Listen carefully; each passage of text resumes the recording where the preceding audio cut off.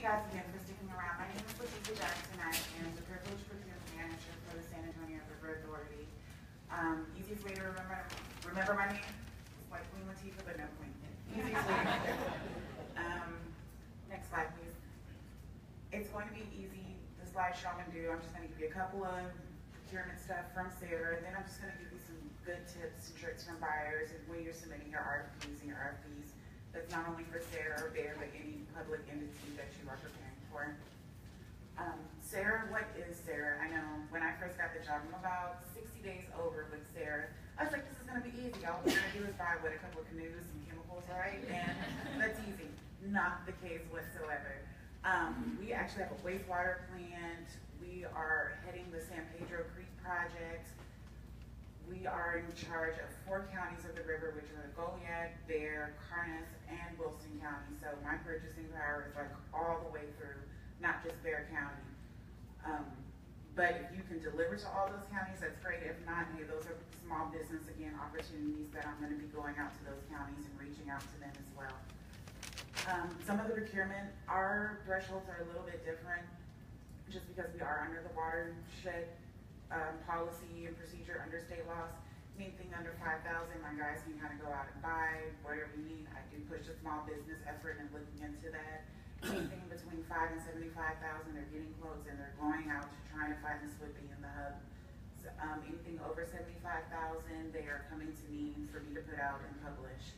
For our professional services, is anything less than twenty-five thousand, they're going out.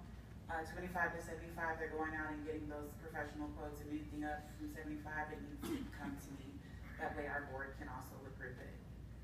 Um, what does SARA purchase? Like I said before, we do everything. We do vehicles, engineering services, architectural services, um, toilet paper, paper, whatever you think you need to run a business, we do it in a little bit more. We actually have a lab, so that's a whole other component of supplies that we have to have in what um, rock. I just put out a bid for rock. I've never bid rock in my life, and I was like, okay, that, that's a new one. Um, but any weird thing you can think of, we're buying it and testing it.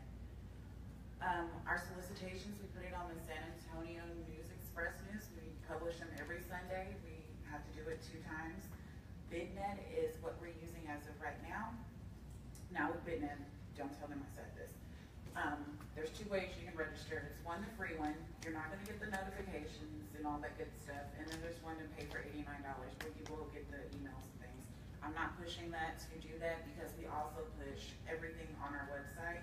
When you go to our website, um, about SARA, there's a contracting opportunities tab. Click on there. All the addendums are gonna be posted on there. All of the solicitations are posted on there. There's also a vendor registration make sure you register. It's free to go on there and register throughout that, and we'll push you those notifications through that as well. Um, who we purchase from, we do use cooperative purchases, TXMAS, Buy Board, U.S. Communities, Texas Smart Buy.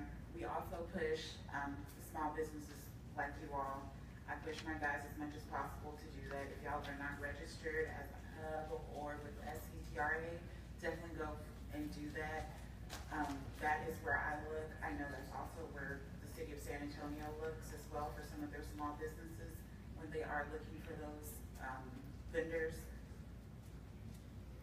Um, but that's basically on the purchasing side. I just want to give y'all a couple of tips. I know y'all see a thousand solicitations go out and you put in like a thousand different ones and you're still not getting it or just to help you a little bit on preparing your packages. Before you start writing, read the document. Make sure you know what you're putting in for. These are the key information you definitely want to be looking at. Um, look for the strong words, the shall, the must. Those are the things that you're going to have to do. Some of the words that they might put in there, like you may, you, those are kind of when I'm getting from my end users, like, well, they might have to do this. So it's kind of on their wish list. So be prepared to do it when you are reading these big packages, because eight times out of ten, they're going to ask you, even though it doesn't say shall. Um, make sure you're understanding, make sure you're looking at the specifications. If you have a question on the specification in that bid package, be sure to ask the person in charge of that solicitation I say if, if you think you got it, still ask, just to make sure you're putting in for the right things. Um, look at how it's going to be evaluated. A lot of times on the RFP, it puts the criteria on there. This, your experience and background is gonna be fifty percent of your points. So you know when you're putting that solicitation together, you know that you need to be hitting that really strong, because that's where your points are going to be. Um, also, whatever, whatever certificate they ask, or, um, just depending on your industry, I know when I did some fire bids and things of that nature, it was very strong on the certifications of that business. Make sure that y'all are really including everything that they're asking for, and if you have additional and higher criteria, include that as well. Um, plan your timeline. This is very important. When I have my pre-bid meetings, I tell you, my bid closes at two P M, two P M, two P M. You run in at two oh one, it's late. Um, and we can't open it, and that's just not me being mean, that's just policy and state procedures. Know who's, who's who in your bid. I can tell you yesterday I had a bid closing, and I called one of my vendors who was really interested in doing it. What happened? Oh, well, I gave it to my general manager, he didn't turn it in. Nope, didn't get it. Um, so make sure your timelines and things, your in-house stuff is together as. Um, previous experience, highlight your previous experience. I've seen so many times where people are like, oh, if I was a subcontractor for COSA contract, and so, you know, city of San Antonio, it holds weight, right?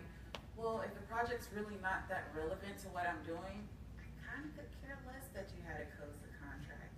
Even if it's the small stuff, if it's relevant to the bid, put in all that information that you can put in for them. That way we can say, yes, they know what they're doing and they do it frequently.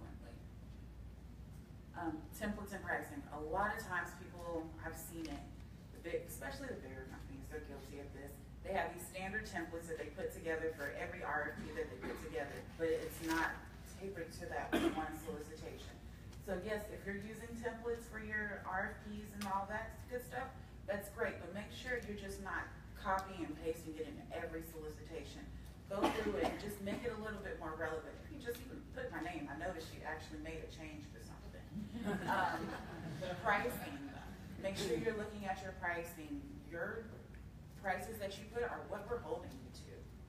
Um, so many times I've had some vendors like, oh, I, I fat fingered it. Oh, I say you look it over twice and have somebody else in your company look over once, just to make sure what you're quoting me is what I'm planning on paying. Because what you submit is what we're looking forward to. And if you come back and I'm like, oh, well, we, oh, oh. I'm like, well, I'm sorry, you might have just lost your bidding because somebody was cheaper.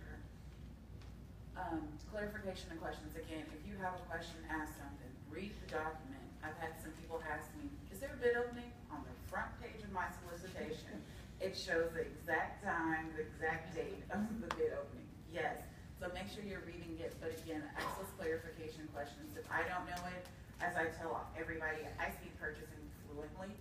Um, engineering services, that's what my engineers are for, and I'll funnel those questions through. So I promise when you ask me questions, or when you ask any purchasing agent, or a good purchasing agent, any questions, they're gonna go back to their subject matter experts and get those. And remember, we're not trying to keep y'all out. We want to, like, we really want to award these contracts, because if I can't award them, I have to put them back out.